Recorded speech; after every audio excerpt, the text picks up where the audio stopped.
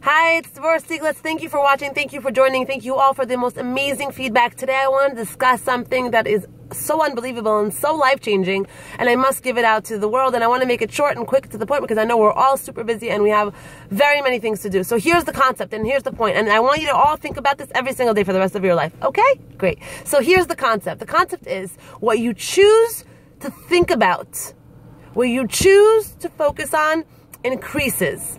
Understand? So what you choose to concentrate on increases. That means if you are thinking about your dead end job, and if you're thinking about how much that person doesn't love you, and if you're thinking about how much of a failure you are, and if you're thinking about how you are not loved, or if you are thinking about um, uh, how many bills you have that you cannot pay because you just don't make enough money, and if you're thinking about all these things that are going on in your life that are not going well, okay, it increases. Okay? And I want to make a point here. The point that I want to make is like the Facebook uh, status that I put up yesterday that not many people liked, and it's a shame because you really, you really, you, it's so much truth in there. And the truth is that we are all experiencing mud in our life.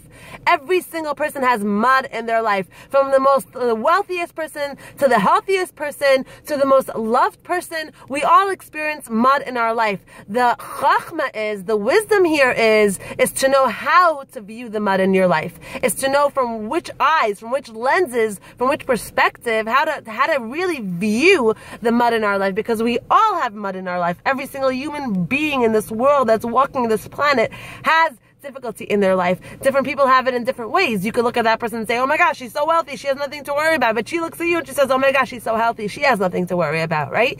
And I'm a person that, thank God, I, I'm very much out there and I speak to a lot of women and a lot of women send in letters to me and emails to me and I know that everyone is suffering on some level or another and I want to give this opportunity to every single one of you and I invite you all to this fourth fourth Emunah teleconference that I'm starting mid-May. Um, I'm going to know for sure what the date is by tomorrow. I'm going to post it on my Facebook status, but I'm starting up mid-May. We are two-thirds of the way filled up in this for the Emunah teleconference. I don't have that many spots left, but I want to give you all this opportunity. And it's such an incredible opportunity and so life-changing to be able to know how to use your mind, how to train your thoughts to think about the things that you actually want to see in your life. You want to see the increase increase in your life and how to really train and condition your mind to think the way you want to think, to experience your life the way you want to experience your life. And we all are all in this rat race. And if we don't stop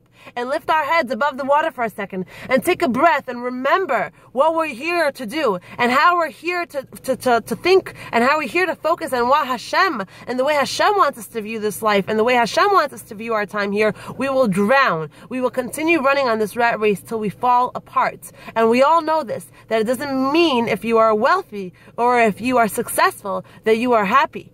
Remember that. We have to remember how to use the life that we were given, how to use the challenges that we were given in a way to only increase the health and the happiness that we feel in our life. So I give us all this opportunity to sign up, save yourself a spot on this next Emunah teleconference, Emunah journey that we'll be giving, God willing, starting sometime mid-May in a week or so. And I give us all this opportunity. Really, I hope that you all take this opportunity to, to help yourselves and to change your lives and to let yourself learn, to give yourself the opportunity to learn how to think differently, how to train your minds um, I want emunah.instapage.com. I'm going to leave the link underneath. Sign me up. Just click sign me up and your name is going to be sent to my email and you're going to be added instantly onto the, um, onto the sign up sheet and you're going to be there when we start our course and when we close the final the final list and you're going to be there. So i hope you all have a beautiful day and remember that even if you don't take these courses keep listening to these videos keep listening keep applying these concepts